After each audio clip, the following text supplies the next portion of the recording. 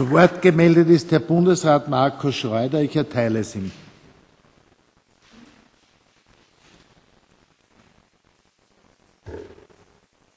Danke, Herr Präsident, Herr Staatssekretär, sehr geehrte Damen und Herren, liebe Kolleginnen und Kollegen. Das ist gerade zufällig, habe ich einen kleinen Espresso in der Parlamentskantine bestellt.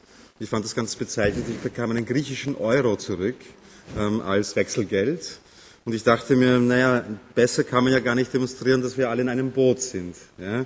Ähm, und von meiner Seite her, daher von der grünen Seite her, der Appell, ähm, an die Bundesregierung, eine gesamteuropäische Lösung zu finden für die Schuldenkrise und für die Finanzkrise, die derzeit Europa in einem dramatischen Ausmaß erreicht hat und dass wir solidarisch sind. Ähm, ich erinnere daran, auch Österreich nach dem Krieg ähm, hatte es nicht leicht, brauchte einen Wirtschaftsaufbau und einen Wirtschaftsaufschwung und es waren andere Staaten und andere Länder, die uns dabei halfen. Ähm, das sollte man nie vergessen und ich finde es wichtig, das in diesem Zusammenhang zu erwähnen. Aber sprechen wir jetzt, wenn wir über das Budget reden, sehr gerne über die angekündigte Schuldenbremse. Ähm, eine Schuldenbremse klingt, also niemand kann sich wirklich was davon vorstellen und eine Bremse funktioniert ja auch nur, wenn es daneben ein Gaspedal gibt. Ähm, ohne dem einen funktioniert das andere ein bisschen schwer, weil wenn man nur bremst, steht man still und man kommt nicht weiter. Das ist das Problem an, an dem Bild der Bremse. Ja, das ist ein, ich finde es ein schlechtes Bild, ja, muss ich ganz ehrlich sagen.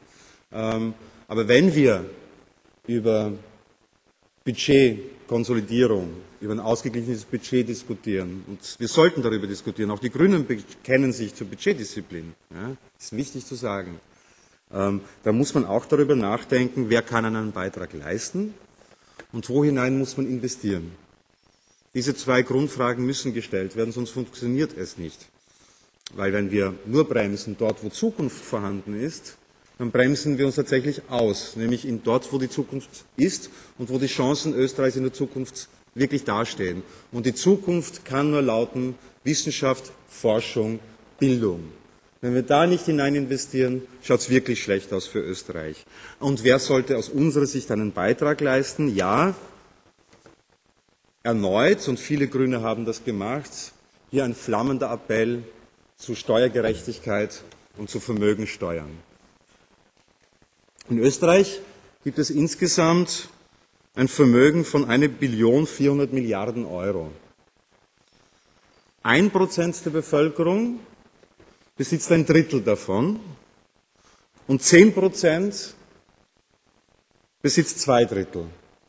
Die restlichen 90 Prozent besitzt nur ein Drittel dieses Vermögens.